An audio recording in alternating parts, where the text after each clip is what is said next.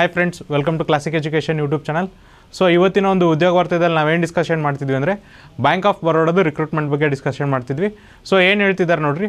Recruitment of human resource on fix term engagement on contract basis for cash management department in bank of Baroda so ನಿಮ್ಗೆ ಏನು ಮಾಡ್ತಿದ್ದಾರೆ ಅಂದರೆ, ಎಲ್ಲಿ hire ಮಾಡ್ತಿದ್ದಾರೆ ಅಂದರೆ ಕ್ಯಾಶ್ ಮ್ಯಾನೇಜ್ಮೆಂಟ್ ಡಿಪಾರ್ಟ್ಮೆಂಟಲ್ಲಿ ನಿಮಗೆ ಹೈರ್ ಮಾಡ್ತಿದ್ದಾರೆ ಸೊ ನೋಡ್ರಿ, ಏನು ಹೇಳ್ತಿದ್ದಾರೆ ಅಂದರೆ we refer to the detail advertisement dated twelve one twenty twenty two in leading newspaper notification on our bank website, inviting applications for various position in cash management department. So ಇವರು already ಏನು ಮಾಡಿದ್ದಾರೆ ಅಂದರೆ ಹನ್ನೆರಡು, ಒಂದು, ಎರಡು ಸಾವಿರದ ಇಪ್ಪತ್ತೆರಡರಂದು ಒಂದು ನ್ಯೂಸ್ ಪೇಪರಲ್ಲಿ ಅಡ್ವರ್ಟೈಸ್ಮೆಂಟ್ ಕೊಟ್ಟಿದ್ದಾರೆ. ಜೊತೆಗೆ ಏನು ಮಾಡಿದಾರಪ್ಪ ಅಂದರೆ ಬ್ಯಾಂಕ್ ವೆಬ್ಸೈಟಲ್ಲಿ ಏನು ಮಾಡಿದ್ದಾರೆ ಅಂದರೆ ಡೀಟೇಲ್ಡ್ ಆಗಿ ನಿಮಗೆ ನೋಟಿಫಿಕೇಷನನ್ನು ರಿಲೀಸ್ ಮಾಡಿದ್ದಾರೆ. ಏನಂದರೆ ವೇರಿಯಸ್ ಪೊಸಿಷನ್ ಒಂದೇ ಹುದ್ದೆ ಇಲ್ಲ ನಿಮಗೆ ಥರ ಥರನಾದಂಥ ಅಂದರೆ ಬೇರೆ ಬೇರೆದಾದಂಥ ಹುದ್ದೆಗಳಿವೆ. ಅದು ಯಾವ ಡಿಪಾರ್ಟ್ಮೆಂಟಲ್ಲಿ ಇದೆ ಅಂದರೆ ಕ್ಯಾಶ್ ಮ್ಯಾನೇಜ್ಮೆಂಟ್ ಡಿಪಾರ್ಟ್ಮೆಂಟಲ್ಲಿ ಇದೆ. ಸೊ ಅದೇ ಥರ ನೋಡಿರಿ, ಈ ಅಪ್ಲಿಕೇಶನ್ ಯಾವಾಗ ಸ್ಟಾರ್ಟ್ ಆಗುತ್ತೆ ಅಂದರೆ ನಿಮ್ಗೆ ಆನ್ಲೈನ್ ಹಾಕೋಕ್ಕೆ ಆರು, ನಾಲ್ಕು, ಎರಡು ಸಾವಿರದ ಇಪ್ಪತ್ತೆರಡರಂದು ಸ್ಟಾರ್ಟ್ ಆಗಿ ಇಪ್ಪತ್ತಾರು, ನಾಲ್ಕು, ಎರಡು ಸಾವಿರದ ಇಪ್ಪತ್ತೆರಡಕ್ಕೆ ಮುಗಿಯುತ್ತೆ. ಅದೇ ಥರ ನಿಮಗೆ ಉದ್ಯೋಗ ಮಾಡೋಕ್ಕೆ ಸ್ಥಳ ಎಲ್ಲಿರುತ್ತೆ, ಉದ್ಯೋಗ ಸ್ಥಳ ಎಲ್ಲಿರುತ್ತಪ್ಪ ಅಂದರೆ ಅಹಮದಾಬಾದ್, ಬರೋಡಾ, ಬೆಂಗಳೂರು, ಚಂಡೀಗಢ, ಚೆನ್ನೈ, ಜೈಪುರ್, ಕೋಲ್ಕತ್ತಾ, ಲಕ್ನೌ, ಮುಂಬೈ, ನ್ಯೂ ಡೆಲ್ಲಿ ಮತ್ತು ಪುಣೆ ಒಳಗೆ ನಿಮ್ಗೆ ಏನಂದರೆ ವರ್ಕಿಂಗ್ ಲೊಕೇಶನ್ ಇರುತ್ತೆ.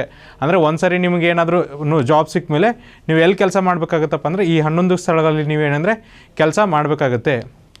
ಅದೇ ಥರ ನೋಡಿರಿ. ಅವ್ರು ನಿಮ್ಗೆ ಇನ್ನೂ ಡೀಟೇಲ್ಡಾಗಿ ಏನಂದರೆ ಅದ್ರ ಬಗ್ಗೆ ಅಡ್ವರ್ಟೈಸ್ಮೆಂಟ್ ಕೊಟ್ಟಿದ್ದಾರೆ. ಸೊ ಏಜ್ ಎಷ್ಟಿರಬೇಕಪ್ಪ ಅಂದರೆ ನಿಮಗೆ ಮಿನಿಮಮ್ಮು ಟ್ವೆಂಟಿ ಸಿಕ್ಸ್ ಇರಬೇಕಾಗುತ್ತೆ ಮ್ಯಾಕ್ಸಿಮಮ್ ಎಷ್ಟಿರಬೇಕಂದ್ರೆ ನಲ್ವತ್ತು ವರ್ಷ ಇರಬೇಕಾಗುತ್ತೆ. ಅದೇ ಥರನಾಗಿ ಎಜುಕೇಷನ್ ಕ್ವಾಲಿಫಿಕೇಷನ್ ನೋಡಿರಿ. ಗ್ರ್ಯಾಜುಯೇಷನ್ ಇನ್ ಎನಿ ಡಿಸಿಪ್ಲಿನ್ ಅಂದರೆ ನೀವು ಯಾವುದೇ ಪದವೀಧರರಾಗಿದ್ದರೂ ಕೂಡ ಈ ಹುದ್ದೆಗೆ ಎಲಿಜಿಬಲ್ ಆಗ್ತೀರಾ. ಜೊತೆಗೆ ಏನು ಹೇಳಿದ್ದಾರೆ ಅಂದರೆ post graduate or diploma in management minimum two years course or C A ಅಂತ ಹೇಳಿದ್ದಾರೆ. ಸೊ ನೀವೇನು ಮಾಡಿರ್ಬೇಕಂದ್ರೆ, ಪದವೀಧರರಾಗಿರಬೇಕು. ಜೊತೆಗೆ ಏನಂದರೆ, ಸ್ನಾತಕೋತ್ತರ ಪದವಿ ಮಾಡಿರಬೇಕು.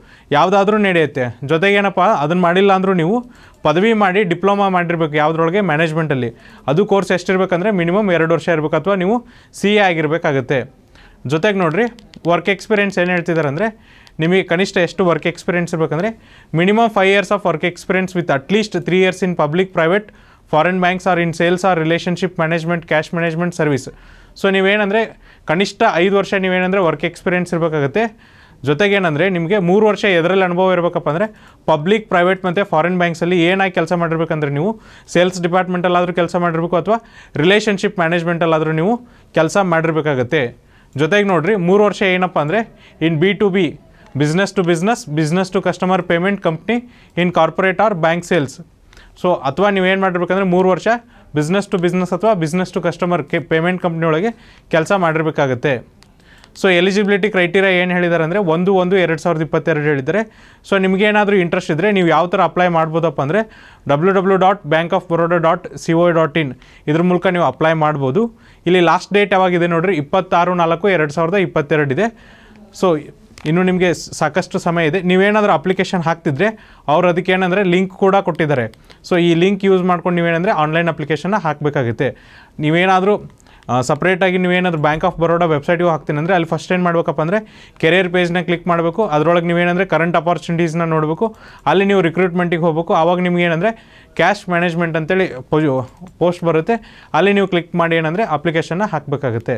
ಸೊ ನೋಡಿರಿ, ಈ ವಿಡಿಯೋದಲ್ಲಿ ಏನು ಮಾಡಿದ್ವಿ ಅಂದರೆ ನಾವು ಬ್ಯಾಂಕ್ ಆಫ್ ಬರೋಡಾದಲ್ಲಿ ಯಾವ್ಯಾವ ಥರ ಹುದ್ದೆಗಳಿವೆ, ಅದಕ್ಕೆ ಎಲಿಜಿಬಿಲಿಟಿ ಕ್ರೈಟೀರಿಯಾ ಏನು, ಜೊತೆಗೆ ಏನು ಏಜ್ ಲಿಮಿಟ್ ಇದೆ ಅಂತ ಹೇಳಿದ್ದೀವಿ ಸೊ ನಿಮ್ಗೆ ಇನ್ನೇನಾದರೂ ಡೌಟ್ ಇದ್ದರೆ ನಾವೇನು ಮಾಡಿರ್ತೀವಿ ಅಂದರೆ ಡಿಸ್ಕ್ರಿಪ್ಷನ್ ಬಾಕ್ಸಲ್ಲಿ official P D F link ಹಾಕಿರ್ತೀವಿ.